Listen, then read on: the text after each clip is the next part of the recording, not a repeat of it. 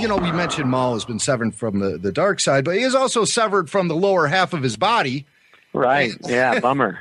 And we talked to Sam a little bit about this, but I just wanted to get your take on uh Uh-oh. uh how, how did Darth Maul get those spider legs anyway? Well, the way that works basically is that when he is severed and falling, a Sith holds on to life. They have to. Their power is completely tied to their physical being and their life. They don't believe in the selfless act. They don't believe in, you know, anything beyond death. They don't maintain themselves beyond death. As far as Jedi know in our era, you cannot maintain your individuality after death. The Sith aren't interested if that's the case. All their power is based on them being alive and breathing. So self-defensively, instinctively, you know, they'll do whatever it takes to maintain their existence.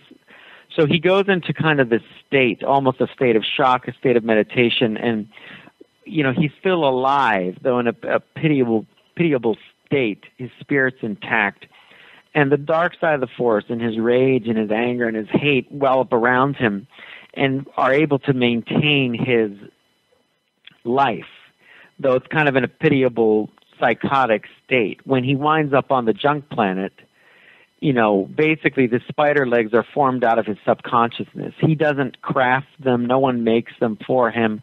They just, you know, kind of build themselves onto his body in his fragmented mental image of what he's supposed to be. And his fragmented mental image is that of a horrific shape, of a spider or some other kind of foreign creature. And it's only his dark will and the dark side of the force that holds that all together but his mental state is like that of a nightmare for the past, you know, what I think it's 10 years or so that he's in that state of existence. He's not really Darth Maul. He, you can't, as you saw, you can't really talk to him. He's incoherent. He's a rabid animal, as he describes. And he's only awakened from that nightmare when Mother Talzin cleanses his mind, which you see her doing as much as his body, and then brings him back. So it's all fear is what it is. And it also reveals to us the fact that darth maul is afraid of spiders. Right? well it's a horrible shape. Maybe he is. I don't know.